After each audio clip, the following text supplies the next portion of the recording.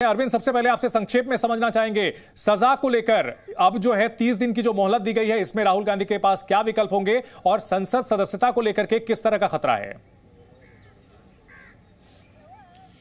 देखिए चंदन, ये समझना होगा कि इस फैसले के दो हिस्से हैं। एक तो राहुल गांधी को दोषी करार दिया गया, दूसरा उनको दो साल की सजा मुकर्र हुई है। इस मामले में जमानत मिली है, इसका मतलब ये कि सजा का पर रोक लग गई यानी सजा फ़िलहाल निलंबित रहेगी। लेकिन अगर राहुल गांधी को संसद की सदस्यता बचानी है तो इसके लिए उन्हें सिर्फ़ सजा पर रोक से राहत नहीं मिल पाएगी। उन्हें कन्विक्शन यानी इस मामले में जो दोषी करार दिया जाने का जो फैसला दिया गया है उस पर भी रोक हासिल करनी होगी। और इसके लिए यहाँ पर उन्हें ऊँची अदालत का रुख करना होगा। ऊँची अदालत से रोक हासिल करनी होगी और यहाँ पर ऊँची अदालत चूँकि ये मामला चीफ जुडिशियल मजिस्ट्रेट की कोर्ट का आदेश है लिहाजा सेशन कोर्ट से उन्हें दोषी करार दिए जाने के फैसले पर भी रोक हासिल करनी होगी। ऐसी सूरत में ही उनकी संसद सदस्यता बच सकती है। ठीक है। वह अंजलि यहाँ न्यायपालिका पर पूरा का पूरा जो है सवाल खड़ा किया जा रहा है कांग्रेस के बड़े नेताओं की तरफ़ से। उधर कांग्रेस के कार्यकर्ता जो है वो सड़क पर उतरे हुए हैं। यानी कांग्रेस इस मामले को कानूनी तौर पर तो लड़ेगी ही, सियासी तौर पर ज़्यादा लड़ने की तैयारी कर रही है। बिल्कुल देखिए, सियासी तौर पर ही ये लड़ाई ज़्यादा लड़ी जाएगी। आपने बिल्कुल ठीक कहा और यही वो तस्वीर जो है, यही बात दर्शा रही है कि तमाम जैसे ही ये फैसला आया, उसके बाद तुरंत यूथ कांग्रेस की ओर से ये प्रोटेस्ट जो है वो ऑर्गेनाइज किया गया, तमाम कार्यकर्ता यहाँ पर पहुँच गए यूथ कांग्रेस के ऑफ़िस पर और यहाँ पर साफ़ जो बात कही जा रही है, वो टाइमिंग को लेकर सवाल उठाए जा रहे हैं कार्यकर्ताओं की ओर से की जो ये टाइमिंग है, ये फैसला आने की, हालाँकि ये जुडिशरी की कार्रवाई है और इसमें सियासत शामिल नहीं होनी चाहिए, लेकिन इस यहाँ पर तमाम जो कार्यकर्ता है, उनका कहना है कि राहुल गांधी को बैकफुट पर लाने के लिए, उनको डराने के लिए ये काम जो है किया जा रहा है। आपको दिखाएँ जहाँ पर ये प्रोटेस्ट चल रहा है, फ़िलहाल सड़क के दूसरी ओर यहाँ बैरिकेड करके भारी पुलिस बल जो है वो तैनात कर दिया गया है और स्पीकर से अनाउंसमेंट की जा रही है कि प्रोटेस्ट को यहीं पर खत्म कर दिया जाए, इससे आगे नहीं क्योंकि यहाँ से ठीक पास में ही संसद भवन मौजूद है।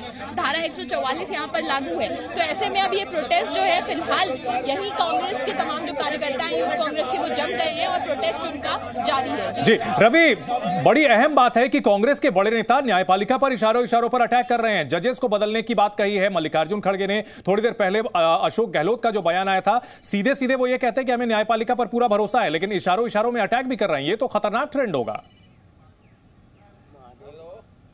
नहीं, देखिए, इससे पहले भी कांग्रेस पार्टी न्यायालय पर अटैक कर चुकी है चुनाव आयोग पर अटैक कर चुकी है, कोई पहली बार नहीं है, लेकिन साथ साथ उनको न्यायालय पर भरोसा भी है, क्योंकि न्यायालय ही जाकर इस मामले की राहत मिलने वाली है। देखिए, सेशन को, कोर्ट में जाना है, सेशन कोर्ट के बाद सुप्रीम कोर्ट जाना होगा, तमाम सारी बात न्यायालय से ही उनको राहत मिलने वाली है।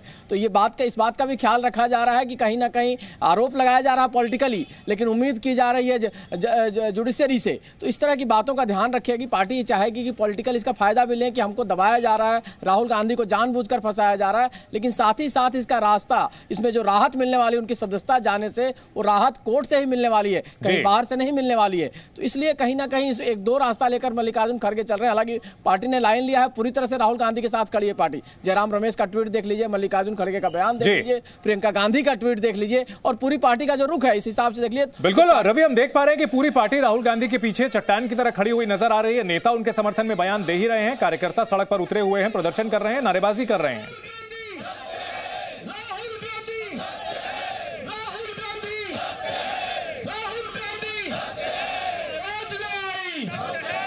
कोई नहीं जानता। है डेमोक्रेसी के हालात जो देख रहे हैं, क्या हो रहा है डेमोक्रेसी को लेके? लोकतंत्र खतरे में क्यों कह रहे हैं हम लोग? आज जुडिशरी पे दबाव है इलेक्शन कमीशन दबाव है। ईडी इनकम टैक्स सीबीआई जो प्रीमियर एजेंसी हमारी है, उनकी क्रेडिबिलिटी बहुत बढ़ी रहती थी आज तक। उसका दुरुपयोग हो रहा है, जम करके हो रहा है। तो जो ऐसा माहौल बनता है तो ऐसे फैसले होते हैं। हर फैसला प्रभावित होते होता है। वही माहौल बन गया अब, वही माहौल बन गया है। और राहुल गांधी जी के ये जो कमेंट है, ये तो पॉलिटिकल कमेंट चलते रहते हैं। हम तो चालीस, पचास साल देखते हैं।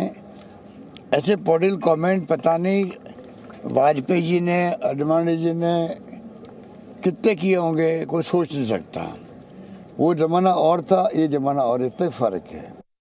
मैं कहूँगा कि राहुल गांधी जी को कम से कम वो भारत की राजनीति के चिर युवा है। चिर युवा you understand that is a perpetually youth and perpetually frustrated perpetually agitated So he should be careful about the word and he should very categorically respect the Indian tradition and the Indian constitution. But unfortunately, he is failing not only politically but also morally, also constitutionally, and this shows that he is also failing. News.